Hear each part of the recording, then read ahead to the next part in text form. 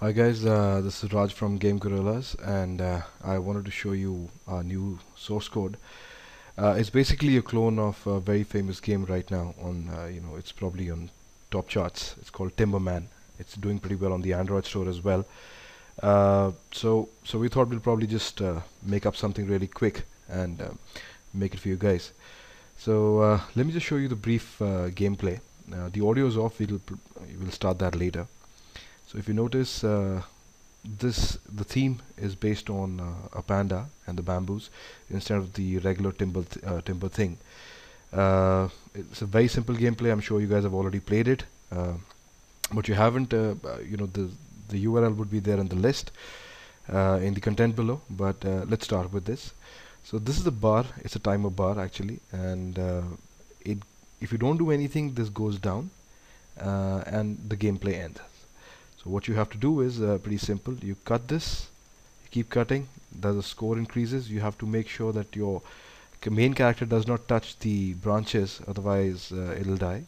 And as soon as you notice the timer went down because I was a little slow uh, the game ends. Or if you uh, touch one of the branches the game ends so it's as simple as that. It's it's it's a very simple gameplay. For some reason, people love such gameplays, which, which are you know one-tap games, and they seem to do pretty well.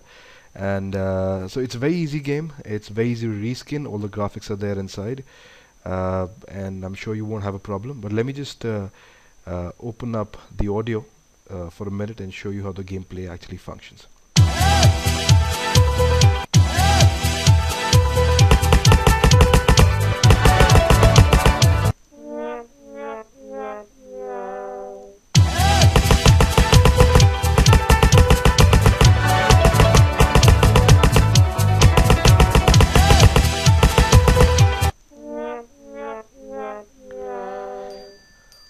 Alright, so in the gameplay now the top scores are here. Uh, for Game Center, there's a leave review option here.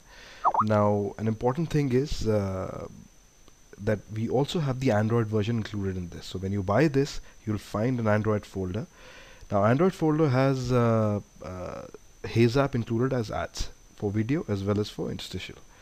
In uh, iOS, we have Chartboost plus Vungle in it, and uh, these ads come up after every four rounds so the players don't get uh, you know irritated with a lot of ads coming in. So uh, I guess that's pretty much it. Uh, all the tutorial files uh, would be there in the project. Uh, of course it's made in Unity so that is easy to make it uh, you know cross-platform. You can even put this on Amazon.